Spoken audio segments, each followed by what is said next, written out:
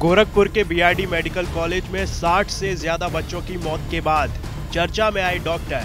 काफिल ने एक बार फिर योगी सरकार पर हमला किया है। भोपाल में अपने परिवार के साथ घूमने पहुँचे काफिल खान ने। बच्चों की मौत को नरसंहार करार दिया और साथ ही आरोप लगाया कि 10 फ़ीसदी कमीशन नहीं मिलने की वजह से ये घटना हुई। सेल का जो मालिक था मनीष भंडारी, वो भी मेरे साथ जेल में था।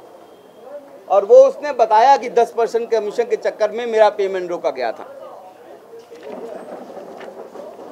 डीजीएमई डॉक्टर के के गुप्ता और उस वक्त के प्रिंसिपल सेक्रेटरी जिनके हाथ में पैसा देने का अधिकार था, वो जिम्मेदार थे।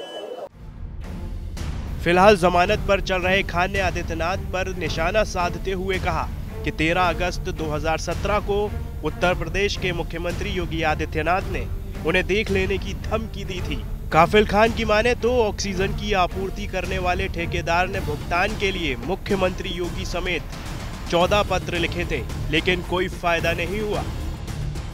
लेटर लिखे थे कि मेरे, पहला लेटर उसने 6 अप्रैल 2017 को लिखा था कि मेरे 20 लाख 40 लाख हो गए हैं, मुझे दे दो पैसा।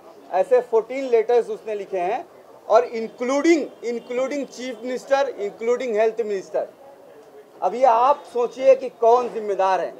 मुझे जहाँ तक लगता है कि अगर किचन में चाय पत्ती कम हो गई तो जो चाय पत्ती बना मतलब चाय बनाता है, वो ज़्यादा जिम्मेदार है। तो योगी जी से ज़्यादा जिम्मेदार जो हेल्थ मिनिस्ट्री है, वो जिम्मेदार है कि किसने उन चौदह लेटर्स के बावजूद पैसे नहीं दिए। आपको बता दें कि बीआरडी मेडिकल कॉलेज में 2017 में 10 अगस्त की रात 30 बच्चों की मौत हुई और इसके बाद के दिनों में 34 और बच्चों की मौत हुई। इनमें से ज़्यादातर बच्चों की मौत कथित तौर पर ऑक्सीजन की आपूर्ति बाधित होने से हुई।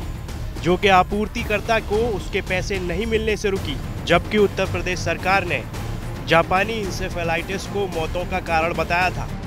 इस मामले में तत्कालीन बाल रोग विशेषज्ञ खान को लापरवाही का आरोपी पाया गया और उन्हें निलंबित कर दिया गया था। बाद में काफिल खान को गिरफ़्तार भी किया गया था। फ़िलहाल काफिल खान जमानत पर बाहर हैं। भोपाल से रविश पाल सिंह की रिपोर्ट।